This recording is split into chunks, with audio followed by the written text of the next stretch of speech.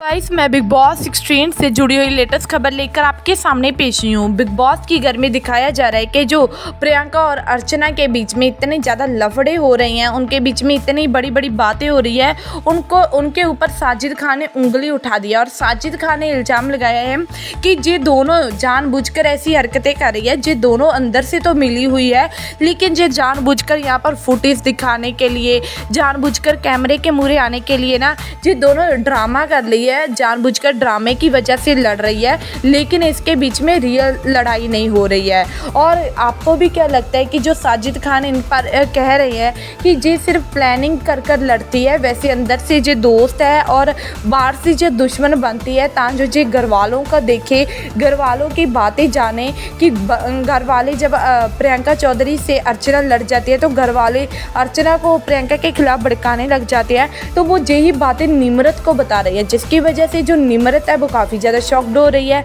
और निमरत कह रही है कि नहीं सर, ये सच्ची लड़ाई है, अर्चना परेशान हो चुकी है बेचारी अब उससे। लेकिन जो साजिद खान है, वो बातों ही बातों में कहीं ना कहीं निमरत को वॉर्न कर रहे हैं कि वो प्रियंका की बुराई ना करें उनसे। लेकिन आपको क्या लगता है कि जो साजिद खान उन पर इल्ज़ाम लगा रहे हैं कि वो राइट है जरा तो प्लीज़ आप अपनी राय हमसे शेयर ज़रूर कीजिए और उनसे जुड़ी हर अपडेट के लिए। चैनल को सब्सक्राइब एंड वीडियो को लाइक नहीं किया तो प्लीज़ जल्दी से जल्दी कर दीजिए। धन्यवाद।